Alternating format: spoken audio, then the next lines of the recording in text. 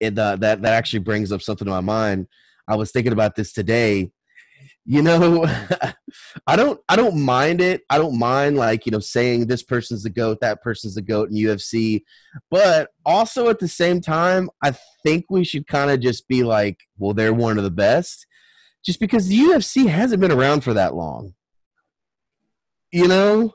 I mean, if you think about it, it's like, oh, they're the greatest ever. Well, it's like, well, the ever is like 25, 30 years. it's like the sport has not been along for that. I mean, if we're talking the greatest ever football player, running back, well, football's been around for a long time. If we're talking about the GOAT, you know, pitcher, you know, for baseball, baseball's been around for a long, long time. And that, to me, I get it.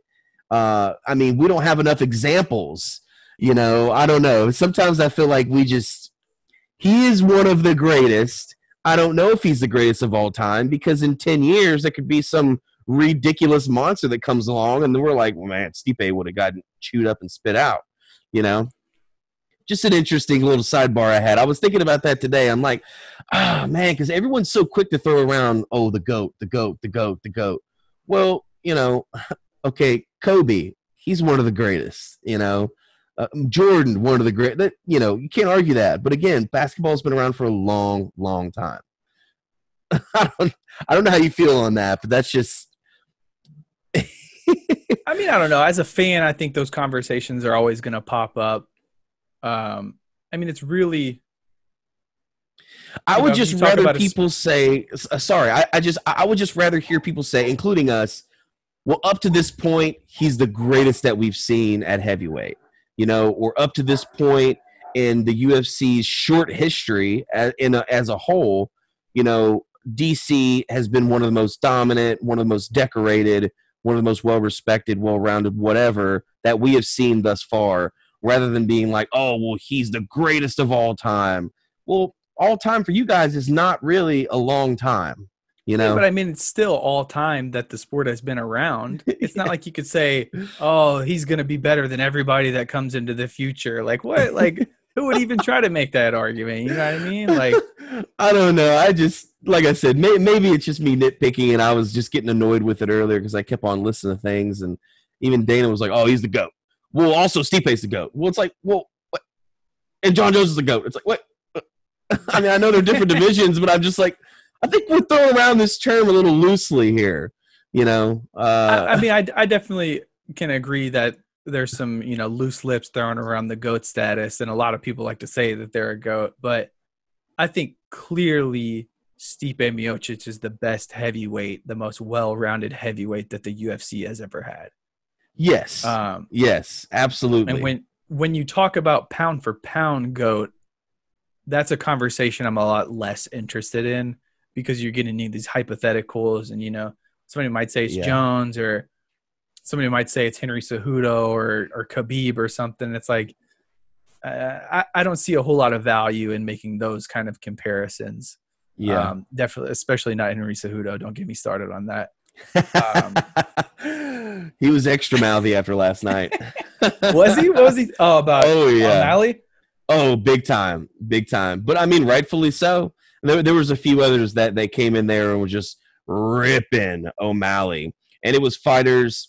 Uh, God, I, I wish I would have screenshot. You know what? I might have screenshotted it. Actually, I believe I did. I believe I did. I, I, I planned ahead. Yes, I did.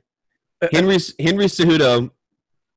I fought DJ and Marlon with no legs, which is just funny. It's just funny hearing that these two pump chump or no, this two pump chump broke his nail and can't compete. Hashtag levels.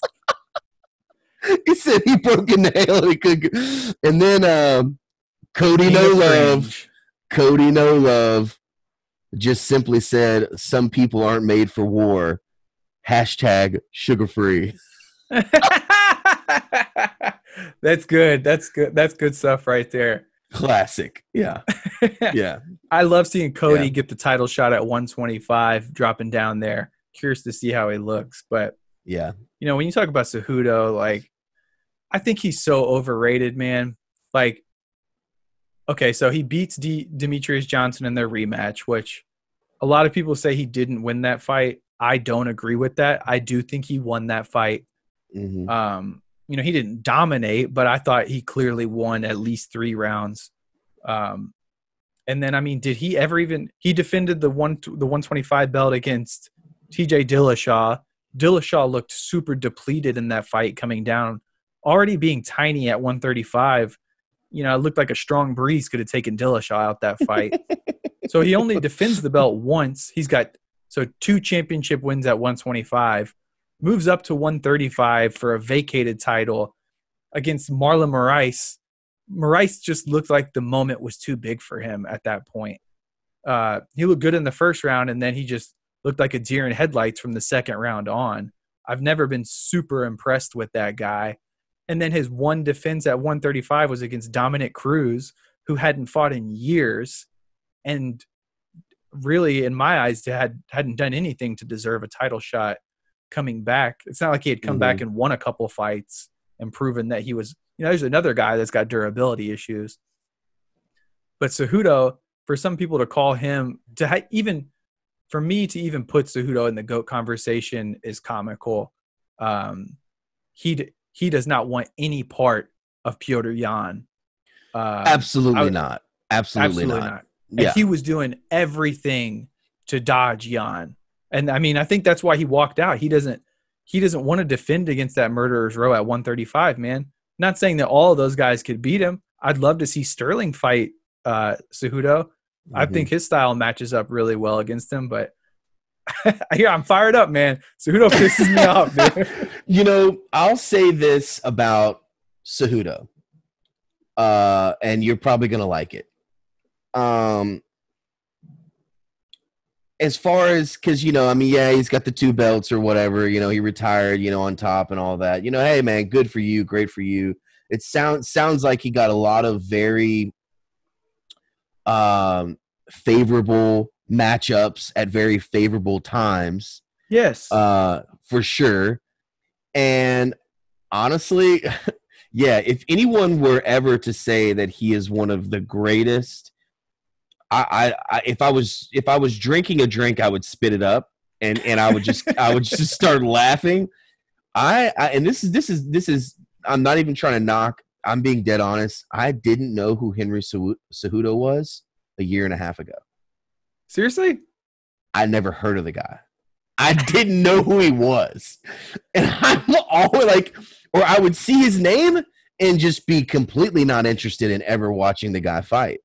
And now so I've remember, seen his fights, but I, I, remember watching his first fight when he came in. You know, he's got this huge rep coming over as an Olympic champion, gold medal wrestler. Mm-hmm. So you know, mm-hmm. wrestling's a great base to have in MMA. I remember his first title shot against Demetrious. You know, his striking was nowhere near there yet. That was, I believe, his only loss in his MMA career.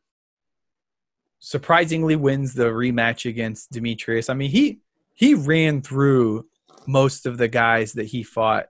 Um, oh no no no! He lost to uh, Joe Benavidez back in the day, hmm. and Benavidez was calling him out to defend his 125 belt, and that's when he ran up to 135.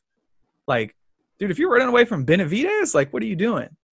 I yeah. was uh, I I kind of lost some respect for him at that point to not try to go in and avenge that loss against Benavidez who is by no means a world beater. So like, what are you running away? I, I get that he's not going to do anything for your name, but you want to, you want to avenge the losses you have on your record. Unless you just want to be a paper champ, which is kind of what I feel like he is, is just a paper champ. You know, he just got the right fight, uh, uh, right fights at the right time. And, you know, if you're a paper champ, well, why, you know, you're not, you're not interested in going back and avenging a loss because you're on to the next one you know, because a real champ, a real warrior, someone who had pride and and and all that, yeah, they're gonna want to they're gonna want to run it back with everybody that they lost against if ev- it makes yeah. sense. Yeah, if it makes sense for them, obviously. But